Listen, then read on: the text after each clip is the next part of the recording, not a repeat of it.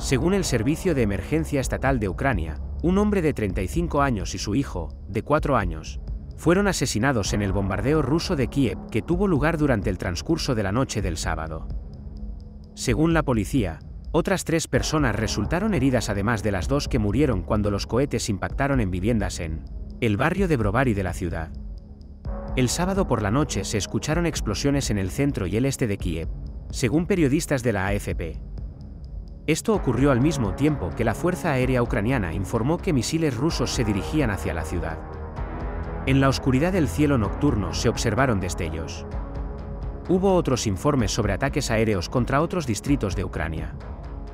Decenas de miles de personas están siendo evacuadas de la zona rusa de Kursk, que ha sido invadida por el ejército ucraniano, según una declaración hecha por Rusia. El domingo, el gobernador en funciones, Alexei Smirnov, afirmó en la aplicación de mensajería Telegram que había ordenado al jefe del distrito Belovsky de la zona, situada en el suroeste de Kursk, que acelerara el proceso de llevar a cabo las instrucciones de evacuación. Los funcionarios locales describieron detalladamente el número de civiles que fueron evacuados de las ciudades y pueblos cercanos a la zona del conflicto. Durante una conferencia de prensa, un funcionario del Ministerio de Situaciones de Emergencia Regional dijo, más de 76.000 personas han sido reubicadas temporalmente en lugares seguros. Esta declaración la hizo la agencia de noticias estatal TASS. El sábado, Volodymyr Zelensky hizo la primera admisión pública de que fuerzas ucranianas estaban en combate en la región rusa de Kursk. Afirmó que la operación era un componente de los esfuerzos de Kiev para restablecer la justicia tras la invasión de Rusia en 2022. Hasta ese momento, el presidente de Ucrania ha mantenido silencio sobre la operación. En su discurso del sábado por la tarde, afirmó que había hablado de la operación con Oleksandr el comandante de mayor rango del ejército ucraniano, así como de nuestras acciones y de llevar la guerra al territorio del agresor. Expresó su gratitud a los soldados que participaron y continuó diciendo, Ucrania está demostrando que es realmente capaz de hacer justicia y garantiza exactamente el tipo de presión que se requiere presión sobre el agresor. Como resultado de los escombros de un misil dañado lanzado desde Ucrania que cayeron sobre una estructura residencial de nueve pisos de altura, funcionarios de la región dijeron el domingo que al menos 13 personas resultaron heridas en la ciudad de Kursk.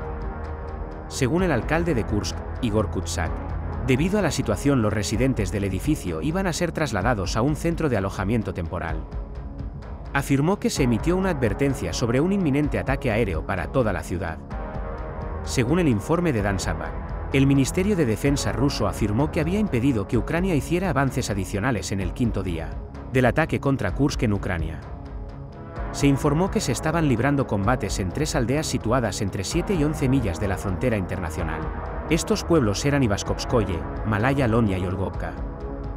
Estas aldeas están ubicadas en áreas comparables a los lugares donde se estimaba que Ucrania había progresado en el pasado. El sábado, la agencia nuclear rusa emitió una advertencia sobre una amenaza directa a la central nuclear de Kursk, que se encuentra a menos de 50 kilómetros, 30 millas, de distancia de los combates. El FSB, que es la Agencia de Seguridad Interna de Rusia, impuso un régimen antiterrorista en Kursk y dos provincias vecinas, Bryansk y Belgorod. Esto dio a las autoridades amplios poderes para bloquear un área e imponer controles a las comunicaciones. Como afirma la Organización de Energía Atómica del gobierno ruso, Rosatom, las acciones del ejército ucraniano suponen una amenaza directa para la planta de Kursk, situada en el oeste de Rusia. Esta declaración fue citada por los medios de comunicación estatales. La fábrica no fue amenazada por las fuerzas ucranianas, ya que no había pruebas de tal amenaza. En una declaración publicada el viernes, el jefe de la Agencia Internacional de Energía Atómica instó a la máxima moderación. Inmediatamente después del ataque a una subestación eléctrica en la región de Kursk, hubo informes de cortes de energía en toda la región. Se produjo un incendio en una subestación transformadora que resultó dañada por los escombros de un dron ucraniano, según el gobernador en funciones Alexei Smirnov, quien hizo el anuncio el viernes. Además, mencionó que hay algunos lugares de primera línea que se quedaron sin electricidad, uno de los cuales es Kurchatov, donde se encuentra la instalación de energía nuclear. En respuesta a la intrusión de Ucrania en la región de Kursk, Bielorrusia envió tropas adicionales para fortalecer su frontera con Ucrania el sábado. Bielorrusia dijo que drones ucranianos habían violado su espacio aéreo durante el transcurso de la incursión. Se afirmó que una repetición del incidente podría obligar a Bielorrusia a revisar si la presencia diplomática de Kiev en Minsk era apropiada o no. El Ministerio de Asuntos Exteriores de Bielorrusia llamó al encargado de negocios de Ucrania, exigió medidas para garantizar que no se repitan hechos de esta naturaleza y exigió que se tomaran medidas. En respuesta a una solicitud de comentarios, el Ministerio de Asuntos Exteriores de Ucrania no respondió de inmediato. El sábado, un portavoz de la Marina ucraniana declaró que la inteligencia militar ucraniana y la Marina ucraniana asaltaron y dañaron con éxito una antigua plataforma de gas costa afuera que estaba siendo utilizada por las fuerzas rusas en el Mar Negro. Subió un vídeo que fue tomado por la noche y mostró una explosión que ocurrió en una plataforma marina, seguida de un incendio. Según él, las fuerzas rusas ya habían estacionado personal y equipo militar en la plataforma un día antes de la operación, que estaban a punto de lanzar. En dos ataques separados en la frontera oriental de Ucrania, en las regiones de Donetsk y Kharkiv, las fuerzas rusas fueron responsables de la muerte de tres personas, según funcionarios locales que hablaron el sábado. Moscú no hizo comentarios de inmediato sobre el asunto. Un ataque con misiles rusos contra la ciudad de Kramatorsk en la región de Donetsk provocó la muerte de un civil y heridas a muchos otros, según la noticia difundida por el gobernador de la región. Un ataque con aviones no tripulados ucranianos en la ciudad rusa de Lipetsk provocó la muerte de un ciudadano. Según un comunicado emitido el sábado por las autoridades regionales en la aplicación de mensajería Telegram, el ataque tuvo lugar aproximadamente a 300 kilómetros, 190 millas, de la frontera de Ucrania. El gobernador de la región de Lipetsk, Igor Artamonov, afirmó que los sistemas de defensa aérea rusos habían interceptado con éxito 19 drones ucranianos. Durante la noche, en otras noticias, Ucrania informó el sábado que el número de combates en su territorio había alcanzado su nivel más bajo desde el 10 de junio.